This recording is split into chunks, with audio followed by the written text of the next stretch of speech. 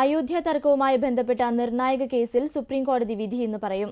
മുസ്ലിം മതവിശ്വാസികൾക്ക് പ്രാർത്ഥനയ്ക്കായി ആരാധനാലയം നിർബന്ധമാണോ അല്ലയോ എന്ന കാര്യത്തിലാണ് കോടതി വിധി പറയുക. Chief justice Deepak Mishra justice Ashok Bhushan justice Abdul Nazeer എന്നിവരടങ്ങുന്ന ബെഞ്ചാണ് വിധി പറയുക.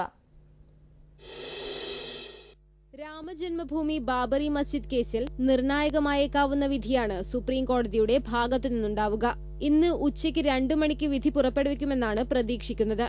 അധികാരം ഒഴിയുന്നതിനു മുൻപ് ചീഫ് ജസ്റ്റിസ് ദീപക് മിശ്ര വായിക്കുന്ന അവസായ വിധിന്യായമായിരിക്കും ഇതെന്ന പ്രത്യേകതയുമുണ്ട്. ആയിരത്തി തൊള്ളായിരത്തി തൊണ്ണൂറ്റിനാലിലെ ഇസ്മായിൽ ഫാറൂഖി കേസിൽ മുസ്ലിങ്ങൾക്ക് നമാസ് എവിടെ വേണമെങ്കിലും നടത്താമെന്നും അതിന് പള്ളി നിർബന്ധമല്ലെന്നും കോടതി നിരീക്ഷിച്ചിരുന്നു. ആവശ്യമെന്ന് തോന്നിയാൽ സർക്കാരിന് പള്ളി നിലകൊള്ളുന്ന ഭൂമി ഏറ്റെടുക്കാമെന്നും വിധിയിൽ പറഞ്ഞിരുന്നു. ഈ വിധിയെയാണ് മുസ്ലിം സംഘടനകൾ ചോദ്യം ചെയ്യുന്നത്. കേസിൽ കോടതി ജൂലൈ ഇരുപതിന് വിധി പറയേണ്ടതായിരുന്നു. ഇത് പിന്നീട് ഇന്നത്തേക്ക് മാറ്റിവെക്കുകയായിരുന്നു. അതേസമയം രണ്ടായിരത്തി പത്തിൽ അയോധ്യയിലെ തർക്കഭൂമി മൂന്നായി വിഭജിച്ചുകൊണ്ടുള്ള അലഹബാദ് ഹൈക്കോടതി വിധിക്കെതിരെ സമർപ്പിച്ചിരിക്കുന്ന ഹർജികൾ വിശാലമായ ഭരണഘടനാ ബെഞ്ചിന് വിടണമോ എന്ന കാര്യത്തിലും സുപ്രീം കോടതി ഇന്ന് വിധി പറയും. National desk Jeevan.